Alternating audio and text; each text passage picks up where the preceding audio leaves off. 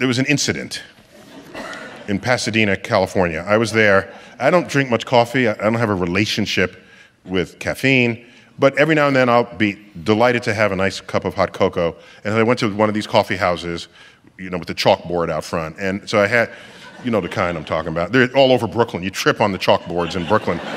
So, so I'm in there. I order hot chocolate, and I order it with whipped cream, of course, right? And it comes to the table, and there's no whipped cream. And I said, I ordered this with whipped cream. And they said, Oh, we put it on. And I said, Well, where is it? Oh, he said, It's sunk to the bottom. I then said,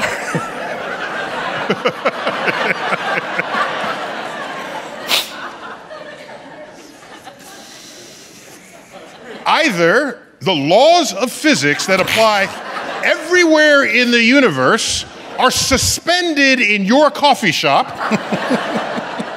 or you didn't put whipped cream on my hot cocoa.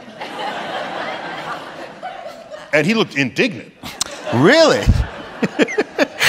Now, to his credit, rather than continue to argue with me, he intended to prove me wrong.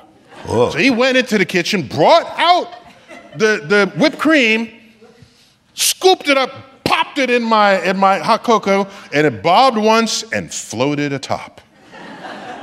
and there it was.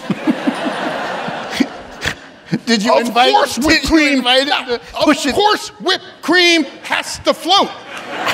because first of all, before it was whipped cream, it was cream. Okay, and old timers remember what does cream do in unhomogenized milk? It floats to the top, and you skim off the cream, leaving behind skim milk. Okay, this is how that works. Now you take the heavy cream and then whip it, putting air into it. It is not going to sink on any known liquid devised by man. Okay?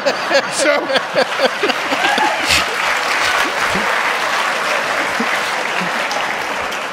All right. So, so here's my point. The, the lesson there is Yes.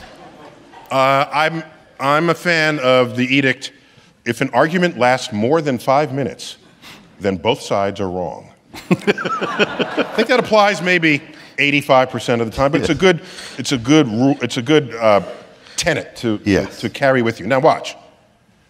Um, this is how science works. One researcher comes up with a result, and that is not the truth. No, no. A scientific emergent truth is not the result of any one experiment. What has to happen is somebody else has to verify it, preferably a competitor, preferably someone who doesn't want you to be correct, such as my waiter. he went out to prove me wrong and got the same result that I had declared. We can call that the beginnings of an emergent truth about whipped cream.